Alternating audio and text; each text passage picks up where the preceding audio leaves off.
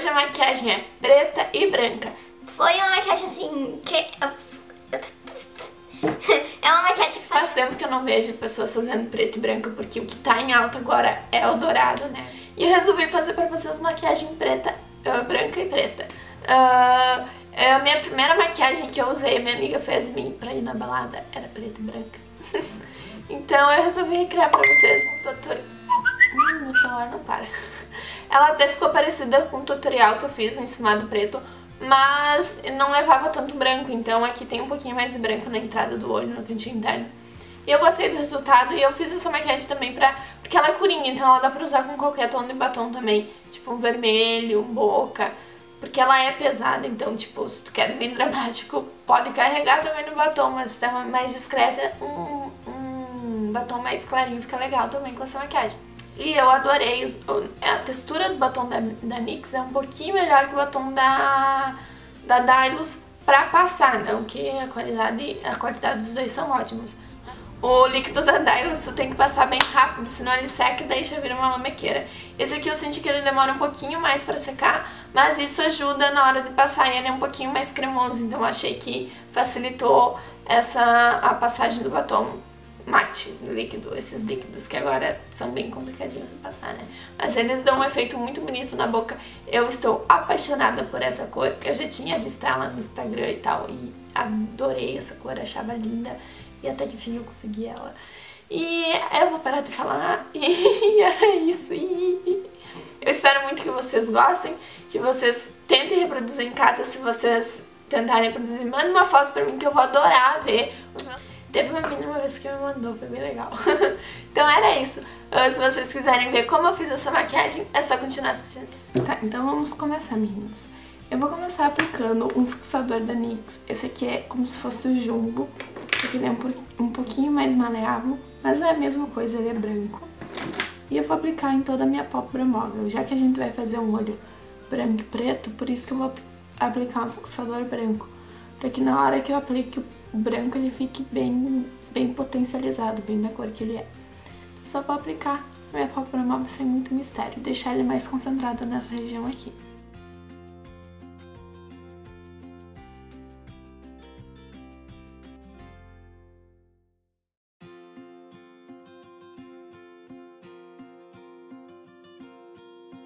Assim.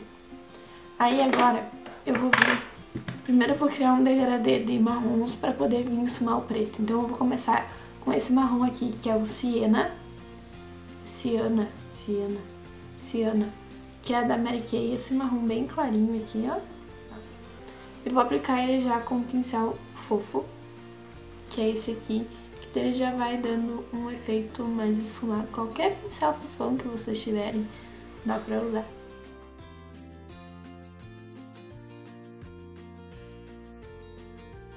Eu esfumo com movimentos de vai e vem e movimentos circulares.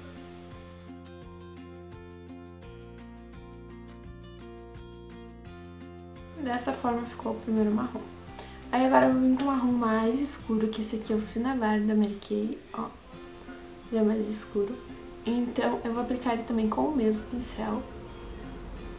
E vou deixar ele mais concentrado aqui no meu cantinho externo, ó.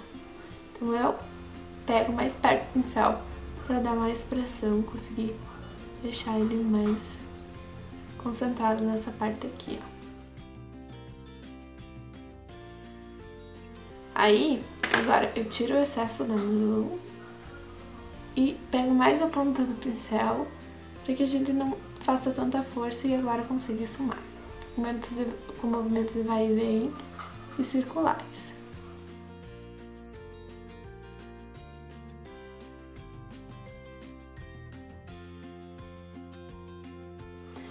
Agora eu vou vir com uma sombra iluminadora, essa aqui é branquinha, que também a gente vai ocupar aqui.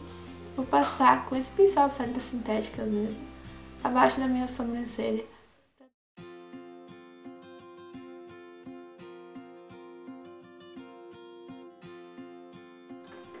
Também agora eu volto e só dou uma esfumadinha com o pincel. Agora eu vou vir com esse lápis aqui da Mega Impact qualquer lápis preto que vocês tiverem que seja bem macio. E eu vou... Oh, e eu vou aplicar ele aqui no meu canto externo do olho, só para criar uma base para receber a nossa sombra preta, para ela ficar mais pretinha. Então eu aplico ele, precisa aplicar muito perfeitinho porque vai esfumar isso aqui, é mais ou menos assim, a gente risca ali e agora a gente vai esfumar o lápis. Primeiro a gente esfuma o lápis antes de colocar a sombra preta, então vou pegar esse pincel lápis aqui e vou esfumar o lápis. Com batidinhas e movimentos de vai e vem. De vai e vem. Nessa hora tem que ter bastante paciência, não pode sair esfumando assim, porque tu tem que esfumar ele bem direitinho nessa região aqui, mais do canto externo. Então, é só indo batidinhas, movimentos de vai e vem, tu vai esfumando esse pretinho. Traz ele mais ou menos até o meio da tua pálpebra.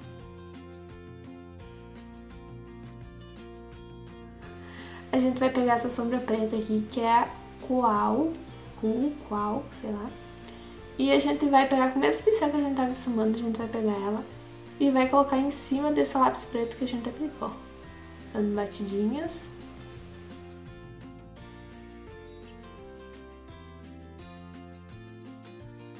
E a gente vai esfumar com aquele segundo marrom, o cinnabar. E um pincel de sombras mesmo, esse redondinho. Vai aplicar aqui em cima do preto, ó, tá? Vai tirar o excesso, tá? Limpar na mão, tira o excesso do pincel. E agora a gente vai esfumar. Esfumar, esfumar, esfumar muito. Nessa parte é só esfumar.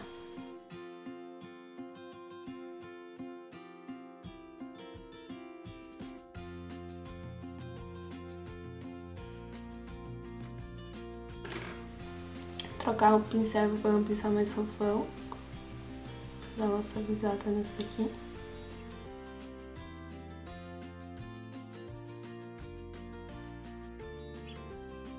Assim. Daí eu vou vir com o pincel lápis mais fininho, assim.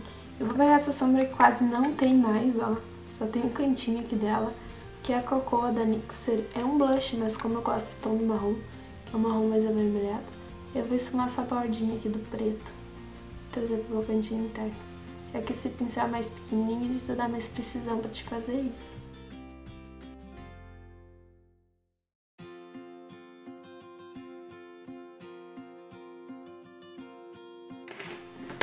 Volto com aquela sombra iluminadora e aplico abaixo da minha sobrancelha de novo.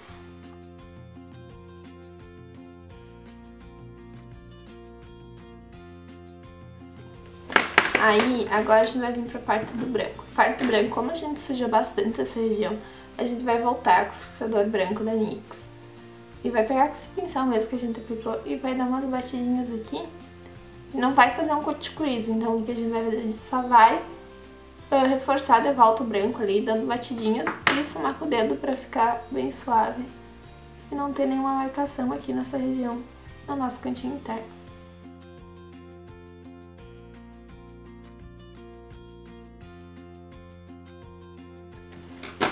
Aí eu vou pegar aquela sombrinha branca da sobrancelha, que é essa redondinha aqui da Kiko, a 167, com pincel cerdas sintéticas mesmo. Eu vou aplicar aqui na minha entradinha branco, dando batidinhas, que assim concentra mais a cor dele. Aí pra fazer uma transição Daí pra fazer uma transição entre os dois eu volto com o pincel sujo de preto, aqui o pincel lápis, e dou umas batidinhas em cima do branco. Tá? Como sempre eu gosto de usar glitter, hoje eu vou usar dois glitters. Esse aqui é o da Super Glitter da Boticário. E eu vou aplicar ele em cima do branco. Com o dedo mesmo, dando batidinhas. E aqui eu volto com o pincel sujo de preto dou umas rodinhas só pra esse glitter não deixar a região muito clara. Agora a gente vai tentar dar forma pra essa maquiagem porque ela tá um pouco sono. Vou pegar o delineador líquido e vou fazer um, um delineador médio, nem muito fino e nem muito grosso.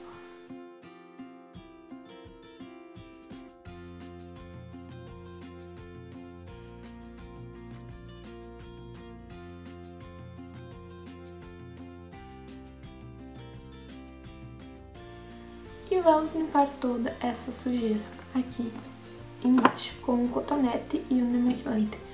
O demaquilante que eu vou usar hoje é o da Intense, eu botei aqui na tampinha. E um cotonete normal, então vou limpar essa região aqui.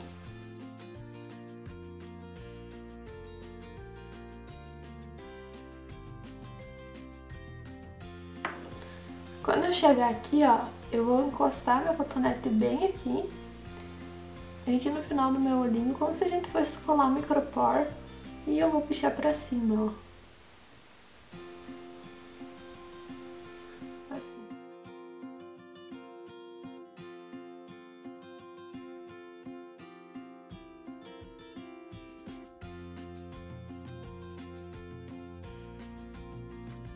É que pra não ficar tão marcado, ó, eu dou uma arredondadinha com o dedo.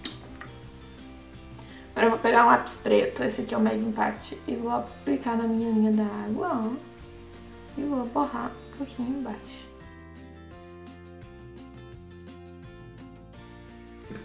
Aí eu vou vir com esse pincel aqui, ó, tá? E vou esfumar esse lápis preto aqui. Então eu pego o cotonete, mesmo esquema, eu demaquilante e limpo essa região ali, dando uma, dando uma afinada aqui, desternhada até baixo.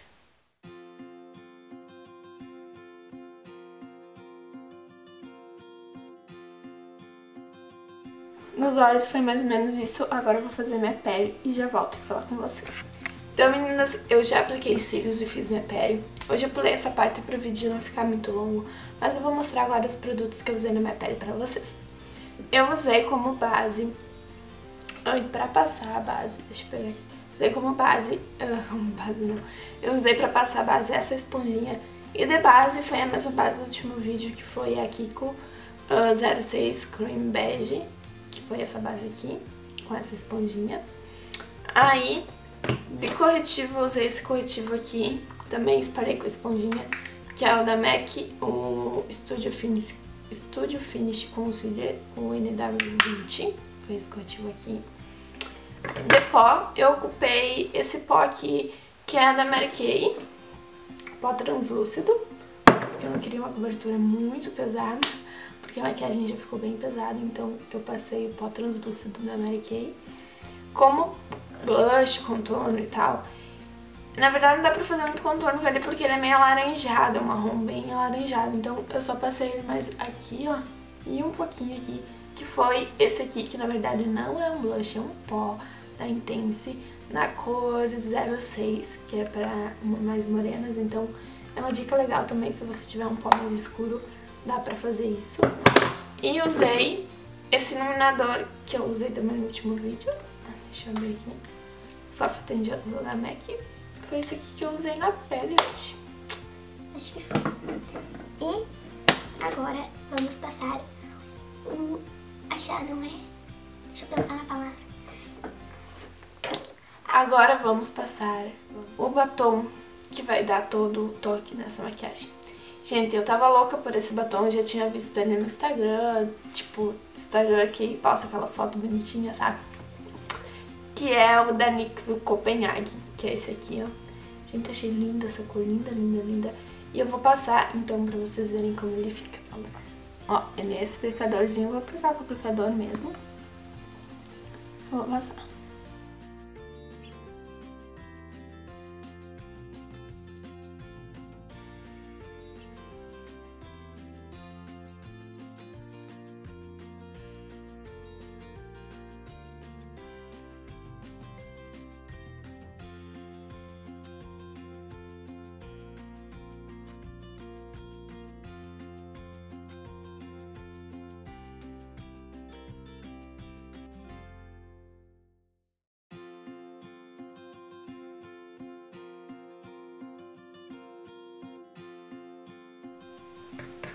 Aí, só pra dar um acabamento, eu vou passar um corretivo em redor da boca.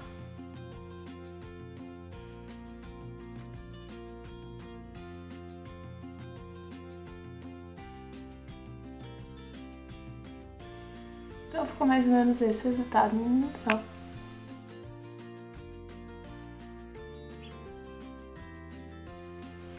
Então essa foi a maquiagem de hoje. E eu gostei muito do resultado. Eu adorei, eu tava louca pra usar esse batom, fazer uma maquiagem com esse batom. Porque eu achei esse batom lindo, lindo, lindo, lindo, lindo. Vocês encontram ele com a Vanessa do Bela Cosméticos. Ela vende os batons da NYX. E tem mais dois que eu tô louca, o Monte Carlo e um outro que agora não me lembro o nome. Mas eu tenho salvo no celular um print dele, então. É um vermelho lindo, lindo, lindo, lindo. Foi essa a maquiagem de hoje, eu espero muito que vocês tenham gostado. Se vocês gostarem, clique em gostei pra mim. Não se esqueçam de se inscrever aqui no canal. Uh, sugestão de alguma maquiagem, de um vídeo ou uma coisa assim, vocês podem falar comigo que eu vou adorar ter ideia.